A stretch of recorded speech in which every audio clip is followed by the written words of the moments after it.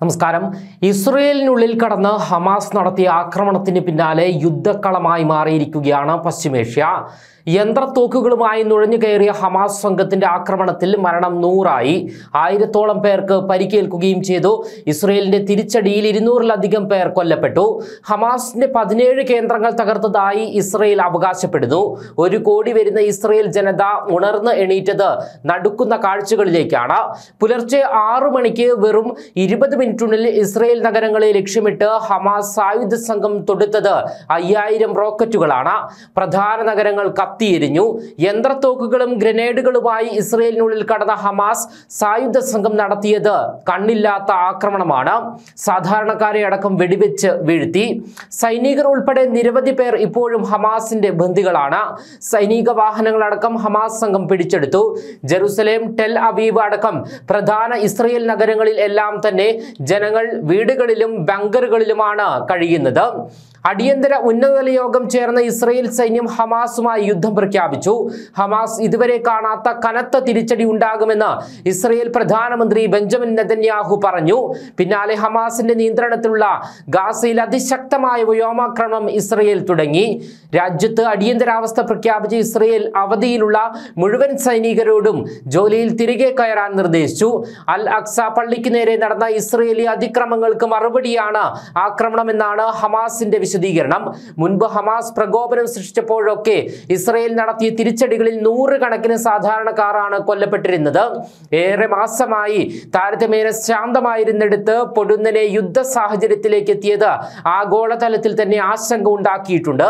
വിവിധ അറബ് രാജ്യങ്ങളുമായി ഇസ്രയേലിന്റെ ബന്ധം മെച്ചപ്പെട്ടതിന് പിന്നാലെയാണ് ഹമാസ് യുദ്ധസമാന ആക്രമണം തുടങ്ങിയത് എന്നതും ശ്രദ്ധേയം തന്നെയാണ്. അതേസമയം ഇസ്രയേൽ പലസ്തീൻ സംഘർഷം തുടരുന്ന സാഹചര്യത്തിൽ ഇന്ത്യക്കാർക്ക് മുന്നറിയിപ്പ് നൽകിയിരിക്കുകയാണ് വിദേശകാര്യ മന്ത്രാലയം ഇസ്രയേലിലെയും പലസ്തീനിലെയും ഇന്ത്യക്കാർക്ക് വേണ്ടി ഹെൽപ്പ് ലൈൻ വാട്സപ്പ് നമ്പറുകൾ വിദേശകാര്യ മന്ത്രാലയം പുറത്തിറക്കിയിരിക്കുന്നു. ഇസ്രയേലിലുള്ള ഇസ് ഇസ്രയേലിലുള്ള ഇന്ത്യക്കാർക്കുള്ള വാട്സപ്പ് നമ്പർ ഇതാണ്. തൊണ്ണൂറ്റിയേഴ് ഇരുപത്തിമൂന്ന് അൻപത്തിരണ്ട് ഇരുപത്തിയാറ് എഴുപത്തിനാല് എട്ട്. പലസ്തീനിലുള്ള ഇന്ത്യക്കാർക്കുള്ള വാട്സപ്പ് നമ്പർ ഇതാണ് തൊണ്ണൂറ്റിയേഴ് പൂജ്യം അഞ്ച് തൊണ്ണൂറ്റി രണ്ട് തൊണ്ണൂറ്റി ഒന്ന് അറുപത്തിനാല് ഒന്ന് എന്നതാണ്. അതേസമയം യുദ്ധത്തിൽ ഇസ്രയേലിന് ഉറച്ച പിന്തുണ പ്രഖ്യാപിച്ചിരിക്കുകയാണ് അമേരിക്ക. ഹമാസിന്റെ ആക്രമണത്തെ തുടർന്ന് ഇസ്രയേലിന് ആവശ്യമായ എല്ലാ സഹായവും നൽകാൻ അമേരിക്ക സന്നദ്ധമാണ് എന്ന് പ്രസിഡന്റ് ജോ ബൈഡൻ പറഞ്ഞു. ഇസ്രയേൽ പ്രധാനമന്ത്രി ബെഞ്ചമിൻ നെതന്യാഹുവുമായി നടത്തിയ സംഭാഷണത്തിൽ അദ്ദേഹം പറഞ്ഞത് ഇങ്ങനെയായിരുന്നു. ഇസ്രയേലിനെതിരെ നടന്നത് ഭീകരവാദമാണ് എന്നും ബൈഡൻ പറഞ്ഞു. അതേസമയം സംഘർഷത്തിൽ അഞ്ഞൂറിലേറെ പേർക്ക് പരിക്കേറ്റു. ഹമാസിനെതിരെ യുദ്ധം പ്രഖ്യാപിച്ച് ഇസ്രയേൽ നടത്തിയ പ്രത്യാക്രമണത്തിൽ ഗാസയിൽ നൂറ്റി തൊണ്ണൂറ്റിയെട്ട് പേര് മരിച്ചു. ആയിരത്തി അറുന്നൂറ്റി പത്ത് പേർക്ക് പരിക്കേൽക്കുകയും ചെയ്തു. എന്തായാലും ഇസ്രയേൽ പലസ്തീൻ സംഘർഷം മൂന്നാം ഇന്തിഫാദയിലേക്ക് നീങ്ങുന്നതിന്റെ എല്ലാ ലക്ഷണങ്ങളും ഏതാണ്ട് രണ്ട് കൊല്ലമായി കണ്ടു തുടങ്ങിയിരിക്കുകയാണ്.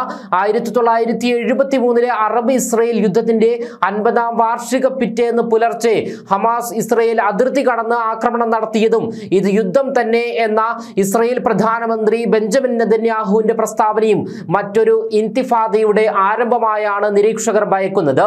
ഇന്തിഫാദ എന്നാൽ അക്ഷരാർത്ഥത്തിൽ പിടിച്ചുകുലുക്കൽ എന്നാണ്. സ്വാതന്ത്ര്യ യുദ്ധം എന്നും വിശേഷിപ്പിക്കാം. ആയിരത്തി തൊള്ളായിരത്തി എൺപത്തി ഏഴ് തൊണ്ണൂറ്റി മൂന്ന് കാലത്തായിരുന്നു ആദ്യത്തേത്. രണ്ടായിരം രണ്ടായിരത്തി അഞ്ച് കാലത്ത് നടന്ന രണ്ടാം ഇന്തിഫാദയിൽ ആയിരത്തിലധികം ഇസ്രയേലുകാരും മൂവായിരത്തിലധികം ഫലസ്തീൻകാരും കൊല്ലപ്പെട്ടതായാണ് കണക്കാക്കുന്നത്. രണ്ടായിരത്തി അഞ്ചിലെ വെടിനിർത്തലിന് ശേഷമുള്ള ഏറ്റവും കനത്ത പോരാട്ടം രണ്ടായിരത്തി പതിനാലിലായിരുന്നു ഗാസയിൽ നിന്ന് ഹമാസിന്റെ കടുത്ത റോക്കറ്റ് ആക്രമണവും അതിന് ബദലായി ഇസ്രയേൽ നടത്തിയ സൈനിക നടപടികളുമായിരുന്നു അന്ന് സംഭവിച്ചത്. അതിനുശേഷം മൂന്ന് കൊല്ലത്തേക്ക് കാര്യമായ റോക്കറ്റ് ആക്രമണം നടത്താത്തതോടെ പലസ്തീൻ ഇസ്രയേൽ പ്രശ്നത്തിൽ സമാധാന വഴി തുറന്നു എന്ന തോന്നൽ വരെ ഉണ്ടായിരുന്നു. കഴിഞ്ഞ കൊല്ലം ഓഗസ്റ്റിൽ പലസ്തീനിലെ ഇസ്ലാമിക് ജിഹാദ് എന്ന സംഘടനയുടെ ഗാസയിലെ താവളത്തിൽ ഇസ്രയേൽ ബോംബിട്ടപ്പോൾ പോലും ഹമാസ് കൈകെട്ടി നിന്നതേ ഉള്ളൂ. ഇതിനിടയിൽ ഇസ്രയേലും മറ്റ് സുന്നി അറബ് രാജ്യങ്ങളും തമ്മിലുള്ള ബന്ധങ്ങളും മെച്ചപ്പെട്ടു തുടങ്ങിയിരുന്നു.